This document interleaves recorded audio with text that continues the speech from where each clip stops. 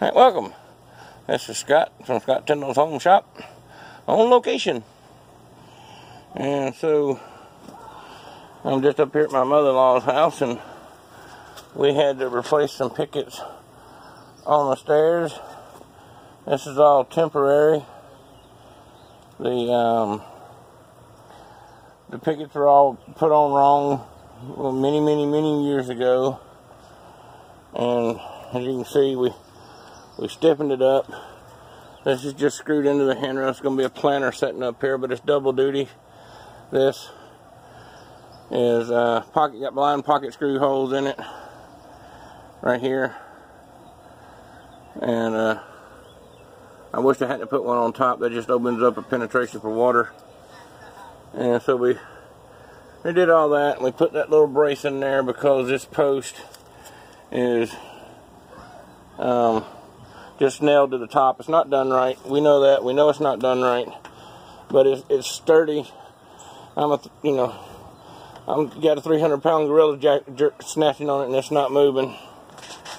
And we going to redo that because I'm afraid somebody's toes might get up under it. But that's just helping support the treads. Even though they're two bys, they had a little bounce to them. And so and we screwed the pickets on the outside. Should have put a board on the outside of them. And but so we stiffened up the handrail.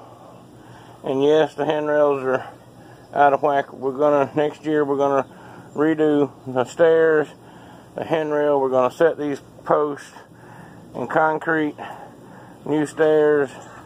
These posts will go all the way through the deck down into the ground. This post right there. And it's all, this handrail is going to be all completely redone properly. But this is just what we had to do today. Just, uh, um, put up, you know, we changed out all the old rotten pickets that were nailed to the top of the stairs treads. They were nailed right here, you know, and right there. And these are four inches on center. I mean, four inches in between them. And if you get down like here, you can really see the handrails out of whack. That's because this post is leaning back. Not this one on my hands on, but the one I'm pointing at. That one right there. But it's it's rock solid, steady. And when we get it done next year, we're going to come back. The whole family's going to chip in. We're going to chip in some money. My brother-in-law's going to chip in some money mother-in-law is going to chip in some money. We're going to completely go from from over here all the way around to over there.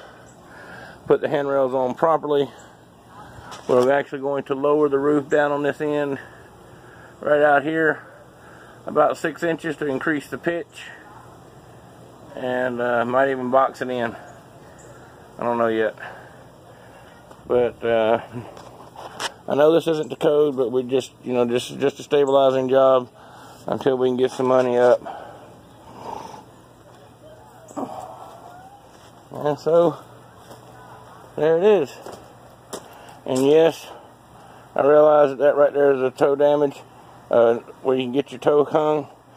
He's going to come back up here tomorrow and stick a two by four from that one down to the back side of each one of the treads and screw it all together so you can't stick your foot in there. Alright, so let me get over here and those right there are just to help stiffen that corner up and serve as a base for a planter box to set on. There you go. Alright. This has been a little quick on location shoot. So like and subscribe if you want to. If you like what you saw, like and subscribe. If you do subscribe, don't forget to click the bell. Check out my other YouTube videos on my other, on my YouTube channel. I only have one channel, Scott and Tera's Home Shop, so check those out. And that's our little weekend project.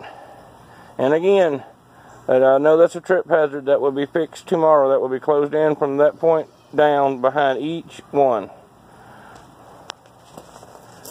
So there you go. New handrail on that side and pickets. New uh, support under this one. And double screwed at top and bottom. All right. Bye.